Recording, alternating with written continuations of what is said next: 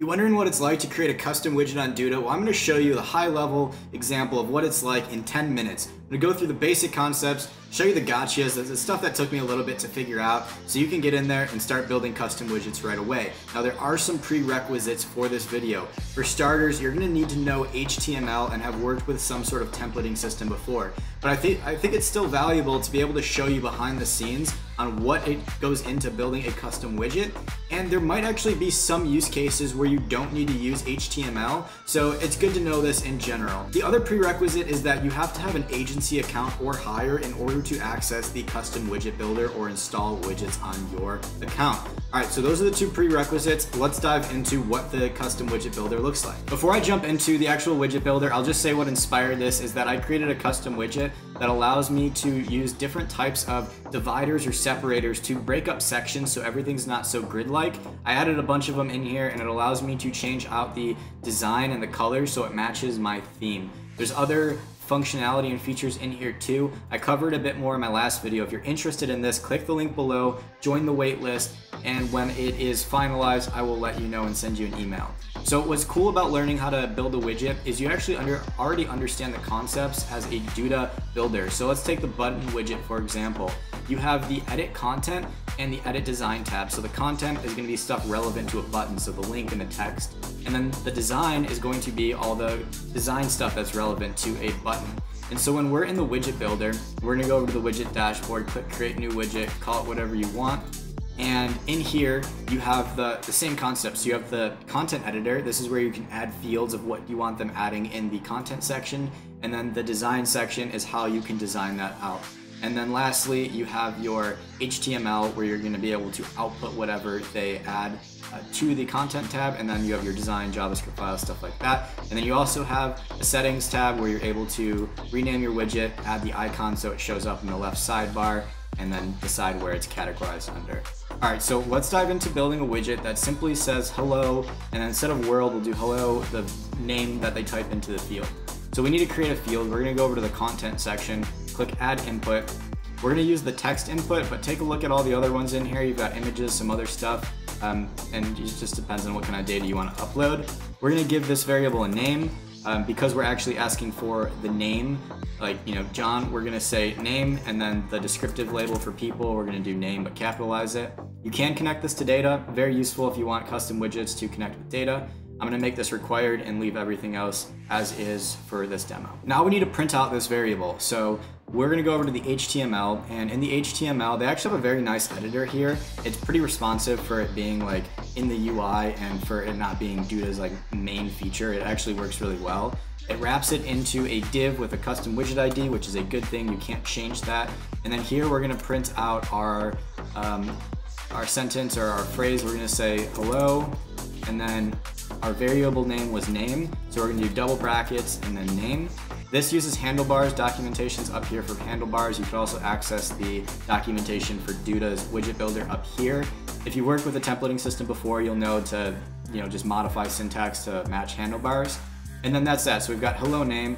And what's cool is you can click preview. You don't have to click save or publish. And that'll automatically bring open another tab and preview your latest changes. And here we're gonna say create today and then click out of it and then boom, it shows up. So you can see how it's dynamic. It'll take whatever input you have in there and display it on the page. Now the design tab always comes with animation and spacing, but say if we want to add additional design elements, we can go back here, add inputs here, uh, depending on how we want to change it. So um, there are a bunch of different options. What do we want to go with here? We can go with the color picker and say name color. So let's only change the color of the name. And then here I'm gonna use a variable in order to get that CSS uh, hex code into, or it's like RGB, into my uh, file here. Hard to code and talk at the same time trying to explain this in 10 minutes. So we're gonna say this is the color for name. That's gonna be our variable. And the default value, let's give it something just so it shows up. We'll make it black or close to black. And then head over to the HTML and then we'll wrap the name in a span and then give this a style equals uh, color and then brackets color name and then move the name over into the span and now we should be able to change that. So we click preview, click back over to the other tab, click on our widget, and then create today. We can see that the color is already different, and we can go in here and then give it another color. My brand color is somewhere in the purple, so we'll do something like that. And then there we go, hello create today. All right, that's the basic concept. I wanna publish this. So now what we do is click save. We have that revision saved, and then we click publish. So once you publish it, you're good to go. And then say if we make a change, and say if we use this widget on our sites, and then we go back to our widget editor, which is independent of the site. So this widget can be used across your whole dashboard, all of your sites. And you go in here and you make a change, and uh, you just put something in here that says uh, enter your name or something. And then we click republish, and then here you have the option to give a like revision note, so you can say what you changed. So like, you know, added description. And then here's what's cool is you can click update all widgets on all published sites. So it'll automatically go out and update on all of your sites. So next time you go there, you'll see that your widget is up to date. Now, actually, I shouldn't have put enter your name here. I should really go to the content editor and what you can do is add input and then there's a description one and then say add your name.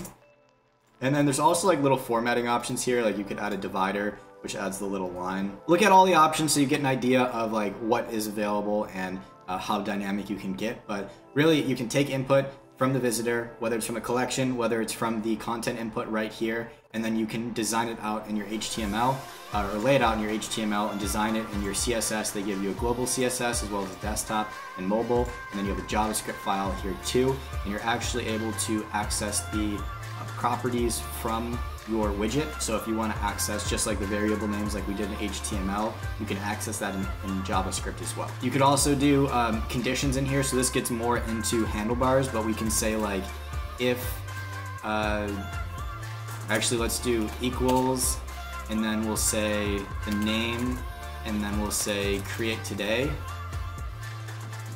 Then we'll put here uh, an H2 and say create channel create today. Go and sub. Cheeky smile. And then we'll end the equals uh, slash equals. And we'll move the H1 above. And then this should theoretically print that out only if we type in create today. So we're gonna preview this.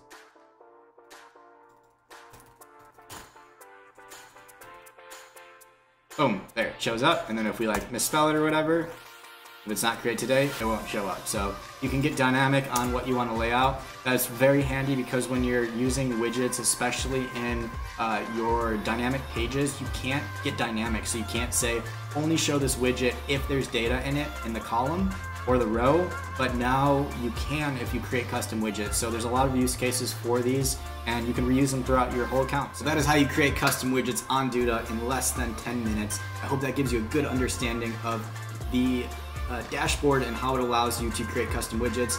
It's fun to build widgets because you're able to do stuff your competitors aren't doing, and it's just fun to build stuff online. Um, so unlike the, the pick, I'm not good at building stuff in person. Online is where it's at. But hey guys, I appreciate you guys for being here. I appreciate you guys watching until the end, and we'll catch you in the next one.